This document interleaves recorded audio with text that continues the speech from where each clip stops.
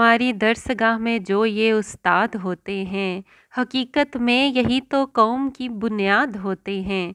सुने रुदाद, हम जब भी किसी की कामयाबी की, हर एक रुदाद में ये मरकज़ी किरदार होते हैं।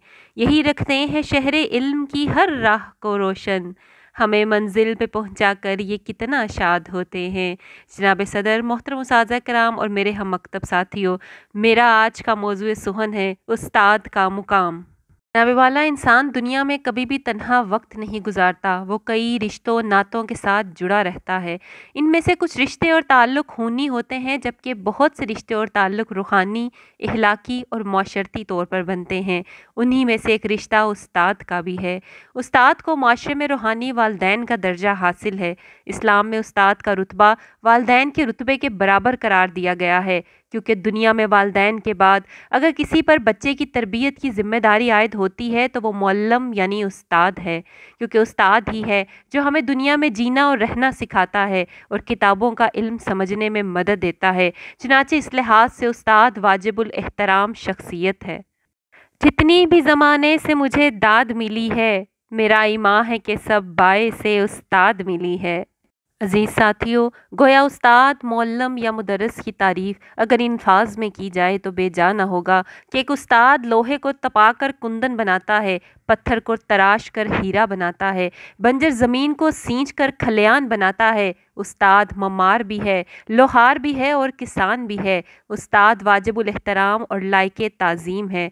उस्ताद का दर्जा माँ बाप के बराबर करार दिया गया है, ये कोई मामूली बात नहीं है। एक ज़माना था जब तालब इलम हसूल इल्म की तलाश में मीलों का सफ़र पैदल करते थे। साल साल मुल्कों मुल्कों घूमते थे। घर बार से दूर रहकर अपने प्यासे मन को सैराब करते थे। उस्तादों की मार खाते थे, डांट सुनते थे और सज़ा झीलते थे। तब कहीं जाकर नगीना बनते थे।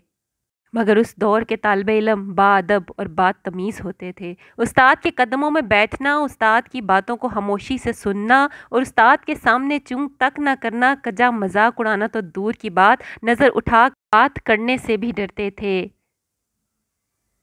देखा न कोह कन कोई फरहाद के बगैर, आता नहीं है फ़न कोई उस्ताद के बगैर। हाजीन महफिल वक्त ने अपनी उड़ान भरी। तो इंसान भी तरक्की की कई मंजिलें तय करता चला गया और अगर वक्त बदला तो तहजीब और अदब आदाब के अंदाज भी साथ साथ बदलते चले गए। चुनाचे ये हकीकत है कि आज के दौर में उस्ताद बनना जुए शेर लाने के मुतरदफ है। मौजूदा दौर में अव्वल तो कोई उस्ताद बनना पसंद नहीं करता और जो बदकिस्मती से बन जाता है, वो अपनी इज़्ज़त गवा देता है। क्योंकि मौजूदा दौर का तालब इलम उस्ताद को इज़्ज़त देने का रवादार नहीं है। वो उस्ताद को एक तनहादार मुलाजिम लाजिम समझता है, जिसकी इज़्ज़त करना वो ज़रूरी नहीं समझता। और बच्चों की सोच के सबसे बड़े ज़िम्मेदार खुद वालदेन भी हैं, जो बचपन से ही बच्चों के जहनों में बात बिठा देते हैं कि ये हमारा तनहादार मुलाजिम है, लिहाजा इन्हें उतनी ही इज़्ज़त दो जितनी औरों को दी जाती है। ये गम खाता चला जाता है मुझको, मुझे इस खौफ से फुर्सत नहीं है, कहीं बरकत न उठ जाए वहाँ से, जहाँ उस्ताद की इज़्ज़त नहीं है। जी, साथियों, इस्लाम ने जहाँ मुसलमानों पर हसूल इल्म को फ़र्ज़ करार दिया है, वहाँ इस्लाम की नज़र में उस्ताद को भी मुआज़ मुकाम हासिल है, ताकि इसकी अजमत से इल्म का वक़ार बढ़ सके। उस्ताद की अहमियत इल्म की बारिश की सी है, जो ज़मीन बारिश को जज्ब करने की सलाहियत रखती है, वो बारिश के फैज़ से सरसब्ज़ो शादाब हो जाती है। जब हमारे रसूल सल्लल्लाहु वसलम तालीम देते थे तो सुहाबा कराम इस कदर खामोशी से बैठते थे कि गोया उनके सरों पर परिंदे बैठे हुए हों और उन्होंने ज़रा सी भी हरकत की तो वो उड़ जाएँगे। ये फैज़ान नज़र बख्शा गया है अहले मकतब को। हज़फ रेज़ों से कर लेते हैं जो लालो गहर पैदा।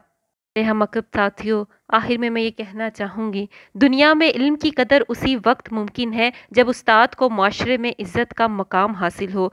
जो तालब इलम उस्ताद का अदब व एहतराम करना जानते हैं, वो उनकी तालीमत पर अमल करते हुए उस्ताद का कहना मानते हैं, वो हमेशा कामयाब व कामरान होते हैं और दुनिया में भी वही इज़्ज़त व मकाम हासिल करते हैं जो उन्होंने अपने उस्तादों को दी।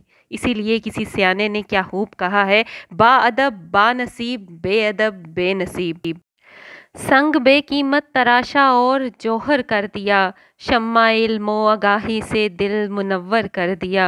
फ़िक्रोवन तहजीब हमत दी शौर आगही। गुमशदान राह को गोया के रहबर कर दिया।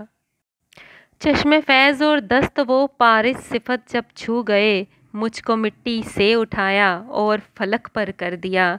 दे जजा अल्लाह तो इस बाग़बान इल्म को जिसने गुंचों को खिलाया और गुले तर कर दिया।